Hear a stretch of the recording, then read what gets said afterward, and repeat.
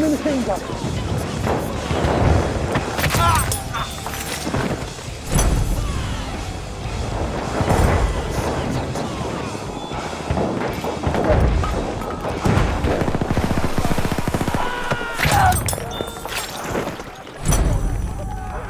We are losing objective Edward.